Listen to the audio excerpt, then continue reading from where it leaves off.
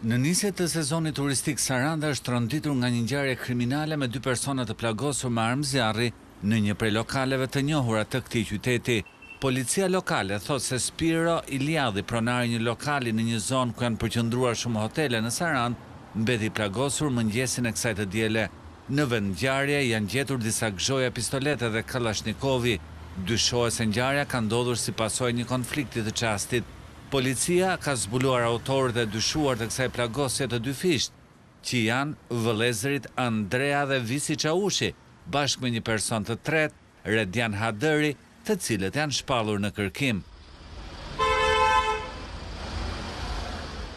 Ndërkohë, biznesmeni i lënduar u transportua për në Spitalin e Traumës në Tiranë për të marrë ndihmën mjekësore, dhe ndodhet jashtë rrezikut për jetën.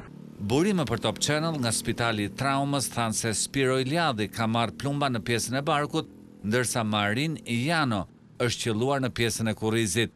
I plagosur në këtë ngjarje mbeti edhe kalimtari Marin Jano i cili ndodhet në spitalin e Sarandës.